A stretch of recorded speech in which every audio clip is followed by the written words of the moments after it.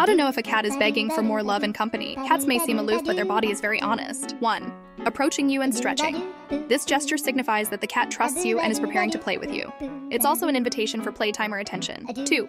Coming towards you and exposing their belly or even rolling around. This indicates that the cat is inviting you to play with or pet them. 3. Headbutting you. This means that the cat needs your immediate attention, possibly because they want food or because they are genuinely bored and want you to accompany them right away. 4. Disturbing you when you're busy, such as making meowing sounds, knocking over objects, or directly lying on your keyboard or books to prevent you from working. When the cat's gaze is not focused on moving objects on the computer, it means that the cat really wants your attention and companionship. Although cats may not understand what computers or homework are, they know that these things are taking away your attention and time.